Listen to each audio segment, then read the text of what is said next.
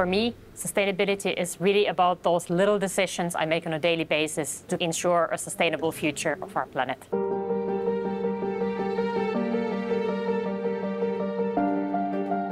Henkel is a global company manufacturing, on the one hand, consumer products. On the other side, we produce adhesives, sealings, and coatings for a variety of different industries. Our main goal is to reach net zero by 2045. We do that by two ways.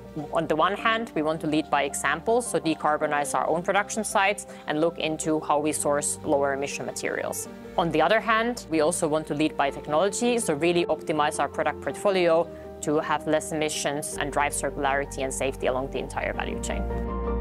At Henkel, to drive progress towards net zero within our production sites, we're looking into improving energy efficiency. That's, for example, where Schneider is helping us with the AVEVA software, so how we can better monitor and optimize the energy consumption within our production sites. As a second point, we also obviously source renewable electricity. We have a goal to be 100% renewable within our production sites by 2030, and with that, we're looking into both on and off-site solutions.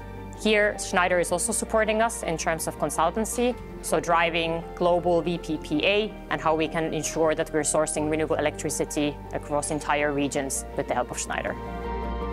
I really see that the partnership together with Schneider Electric has enabled us to see that strong customer pull for sustainable solutions and utilize that to drive change within the entire value chain.